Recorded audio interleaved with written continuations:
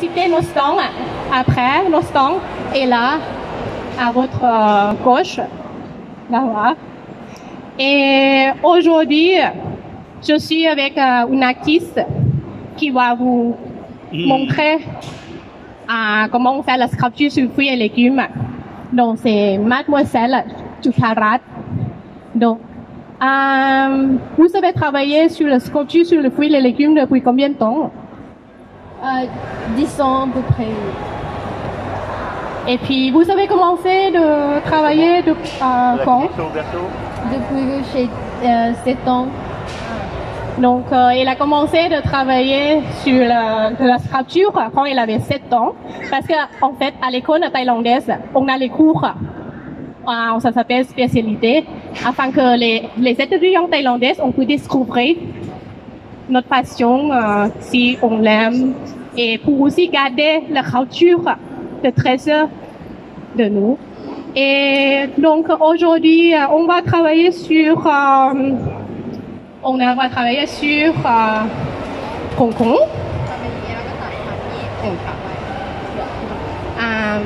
la carotte et les papayes. Donc maintenant, on va aller transformer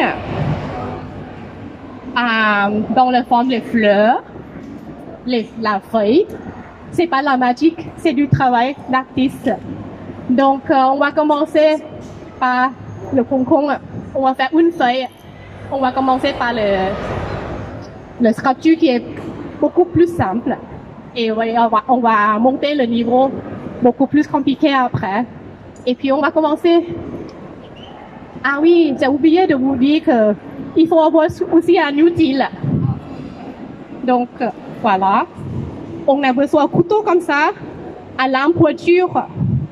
Et il faut on, tienne comme ça, comme euh, un stylo, avec l'index. Appuyez ici parce que on doit travailler précisément à, à certains endroits. C'est pour ça, ça aide pour les mouvements et aussi pour avoir la bonne poignée. Voilà, je vais laisser euh, notre artiste réaliser au départ. Elle va découper le concombre dans cette taille-là. Et puis, elle a découpé en deux. Puis, elle va essayer de former le morceau de concombre dans la forme d'une feuille. Donc, euh, pendant l'artiste qui est en train de réaliser la feuille, la sculpture, donc ça, je vais vous raconter tout petit peu l'histoire de la sculpture sur le fruit et légumes. La sculpture sur le fruit et légumes, ça se trouve en Asie, mais pourtant on a beaucoup pratiqué en Thaïlande. Parce que dans notre pays, on a, on a donné, on, on, on a donné la cuisine qui a le saveur équilibre entre le sucré, salé et aussi la visuelle. Parce que imaginez qu'on va manger à plat ce soir, avoir le bonne saveur et la bonne présentation. C'est un peu comme le, chez notre voisin, le japonais, que quand ils sont en train de faire du bento. Ça plaît beaucoup aux, aux enfants avec le tête de l'ours, par exemple. Et puis, dans le passé, normalement, la connaissance là, c'était gardé dans, aux femmes, au palais, et les cuisiniers qui attachaient à, à royauté au palais pour réaliser le plat qui était très joli. Et par rapport à l'histoire, on peut remonter au XIVe siècle, pendant le période de Sukhothai. À cette époque-là, on avait la fête de la lumière thaï, ça s'appelle. Loi Krathong, la fête de la lumière thaï, on doit construire les radeaux et puis on l'a lancé dans l'eau. Le radeau, il faut qu'on on les décorait.